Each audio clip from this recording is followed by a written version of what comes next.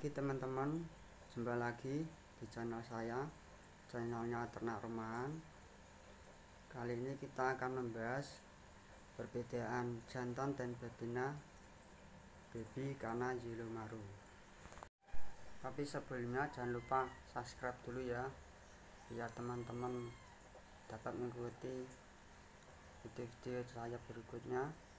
Dan tekan tombol lonceng ya teman-teman yang pertama yang dapat melihat video saya nanti yang saya update.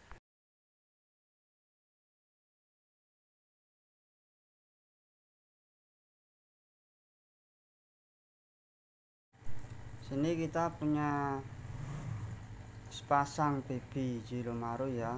Panjangnya udah 20 cm dulu belinya 10 cm itu waktu beli susah sekali membedakan antara betina dan jantan. Patokannya cuma di moncongnya ya. Yang betina itu agak lancip yang jantan itu ag agak tumpul ya. Dan tebelnya kepala. Yang betina agak pipi yang jantan agak tebel. Kalau yang sebelah sini betina ya. Nah yang sebelah sini jantan. Kita coba kasih makan biar kelihatan perbedaannya. Ini yang jantan ya. Kepalanya agak tebal nih. Nah moncongnya ini agak pendek nih ya. Coba kasih makan. Kalau yang betina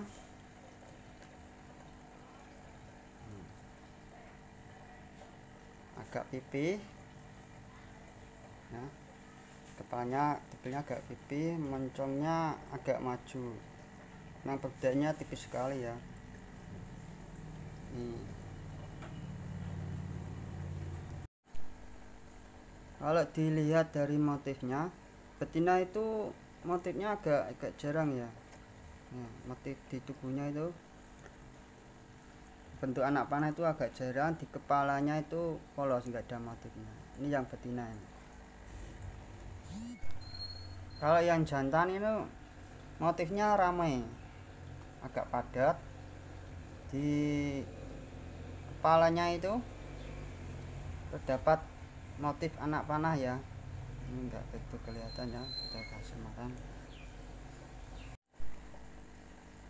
Ini kita kasih pakan ulat dongkong ya. Di video sebelumnya saya sudah buatkan tutorialnya cara berternak ulat dongkong biar kita menyimak untuk pakannya.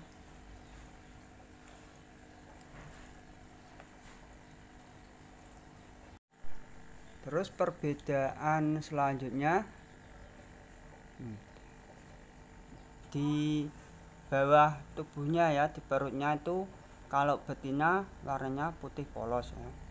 Kalau yang jantan itu di bawah perutnya di bawah dagu ini agak ada bintik-bintiknya hitam ya enggak begitu bersih kayak yang betina ya. Kurang lebihnya seperti ini ya.